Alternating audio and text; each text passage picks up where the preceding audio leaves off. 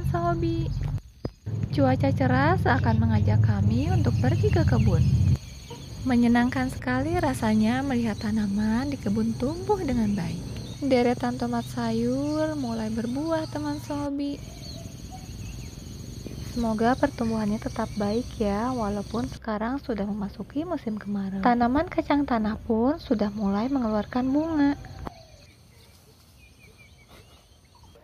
Alhamdulillah, kacang tunggak yang ada di kebun kami sudah mengeluarkan calon-calon hidangan lezatnya. Teman sobi, tahu nggak kacang tunggak itu tidak membutuhkan turusan? Karena kacang tunggak itu sama sekali tidak merambat. Jadi, bagi teman sehobi yang tidak memiliki kebun, bisa kok menanamnya di pot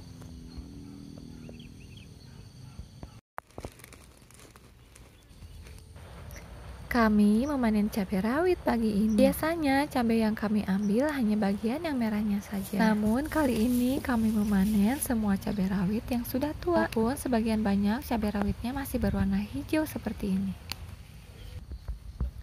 Alhamdulillah cabai rawit yang sempat diserang hama kini mulai membaik teman sobi.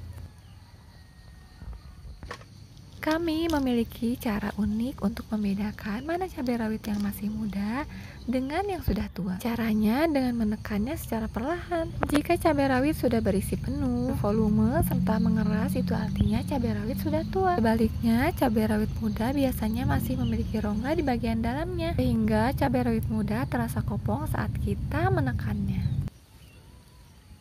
Itu hanya kami lakukan di awal-awal teman sehobi waktu berjalan dan seringnya kami memanen cabai, kami lebih paham dan mengerti hanya dari melihatnya saja. Akhirnya kami bisa membedakan dengan cepat mana cabai rawit muda dan mana cabai rawit yang sudah tua.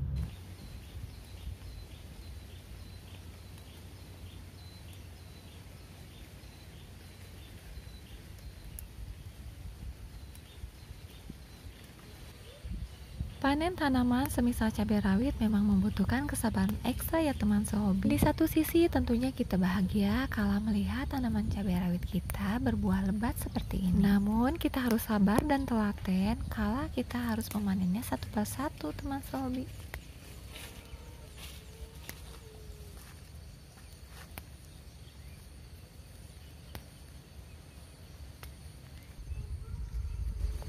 Ini masih dalam satu pohon yang sama ya teman sehobi. Belum habis-habis.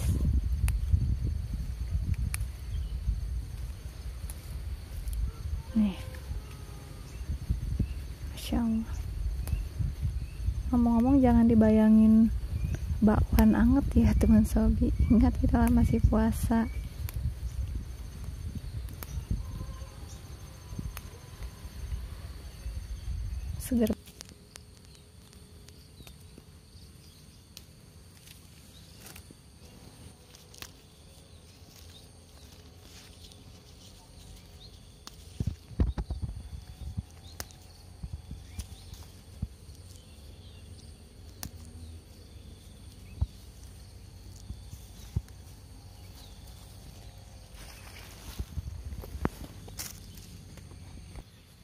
Bicara soal selera, terkadang saya ngobrol dengan beberapa orang dan di antaranya mengatakan saya tidak suka cabai rawit yang putih, saya lebih suka cabai rawit yang hijau. Cabai rawit putih di mata sebagian orang dianggap sebagai cabai rawit yang kurang sedap teman sehobi. Menurut asumsi mereka, cabai rawit putih memiliki aroma langu teman sehobi. Namun bagi saya semua cabai rawit sama lezatnya kok, hanya saja kita harus tahu serta mencocokkan sebaiknya cabai rawit jenis apa untuk dimasak apa juga.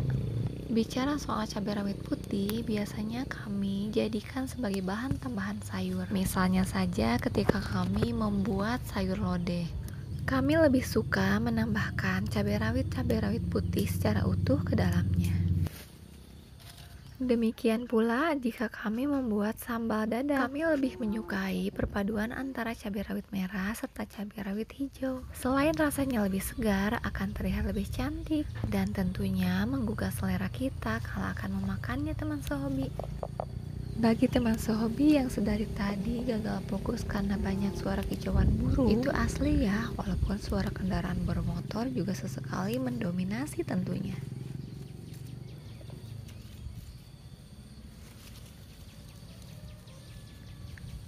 Riuh ayam berkokok seakan tak mau kalah juga teman sehobi. Semua itu dikarenakan kebun yang kami tanami ini dekat dengan pemukiman penduduk.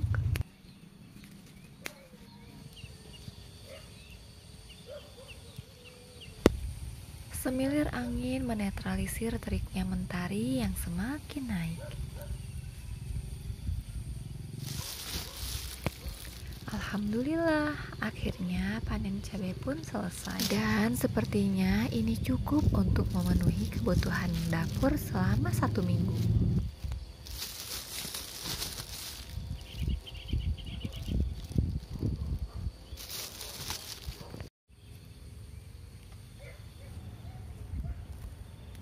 Tapi tunggu sebentar.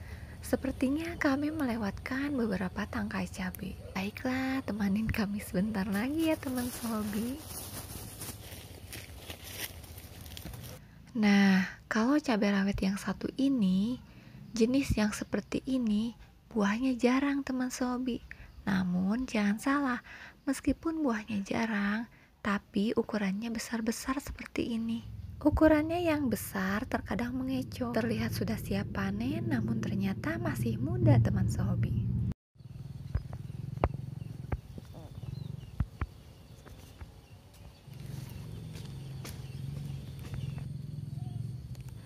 Sepertinya acara panen cabai rawitnya sudah benar-benar selesai sekarang. Namun, kita jangan langsung pulang ya teman sohobi. Karena selanjutnya saya ingin mengajak teman sohobi untuk memetik pisang muli. Atau ada di antara teman sohobi yang biasa menyebutnya sebagai pisang gadis. Yang ternyata sebagian buah pisangnya sudah dipanen oleh burung-burung yang ada di sana.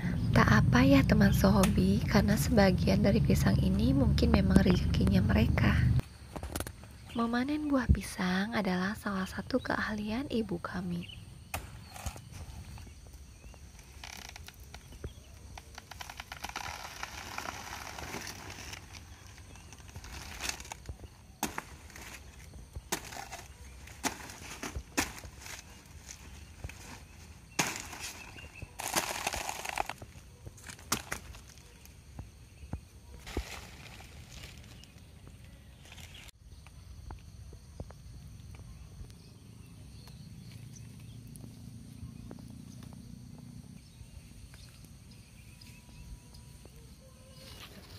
Dayangan dalam ini begini Pai.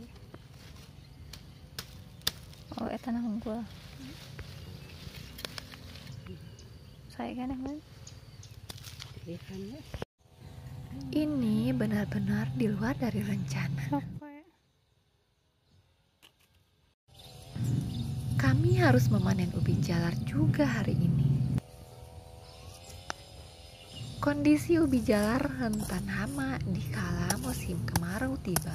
Terasan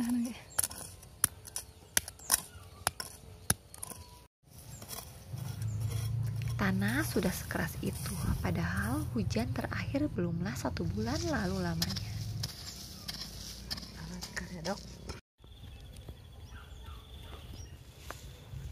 Di antara teman Sobi, apakah ada yang tahu apa nama hama dari ubi jalar?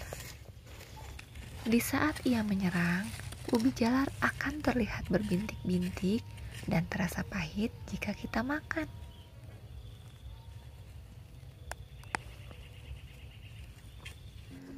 Alhamdulillah selesai juga panen kita hari ini. Ketika jam menunjukkan jam 10 pagi, uh, udara terasa sangat panas teman sehobi.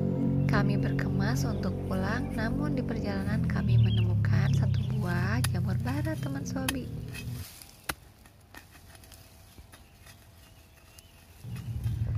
Padahal kondisi tanah demikian kerontang, namun atas izin Allah ia tumbuh dengan baik.